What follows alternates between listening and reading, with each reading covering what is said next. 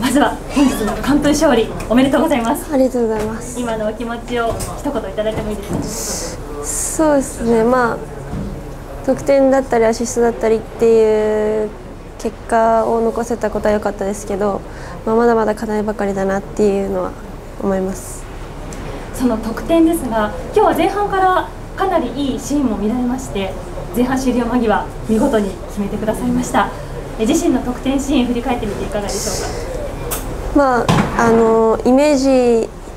とは違ったコントロールになってしまってそこからまあ詰まったりはしたんですけど、まあ、うまくこぼれ球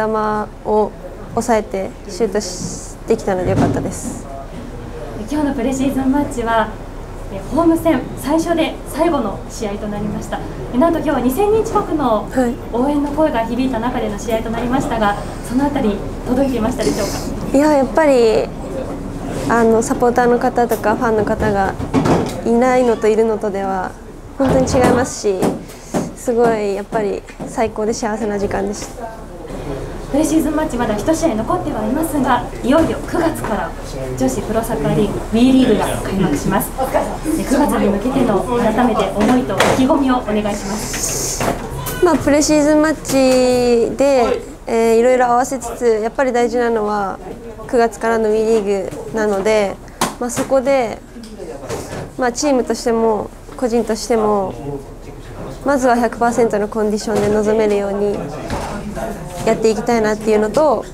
まあ、チームとしてまだまだこう合わせていかない部分だ合わせていかないといけない部分だったり、まあ、課題だらけなのでそこはしっかり9月に詰めていけるように頑張りたいです。謙虚な発言が多い小林選手ですがきっとファンの皆さんは背番号10番の活躍期待していると思います。そのあたりどうでしょうか？うんそうですね。まあ少ないからず責任感を持って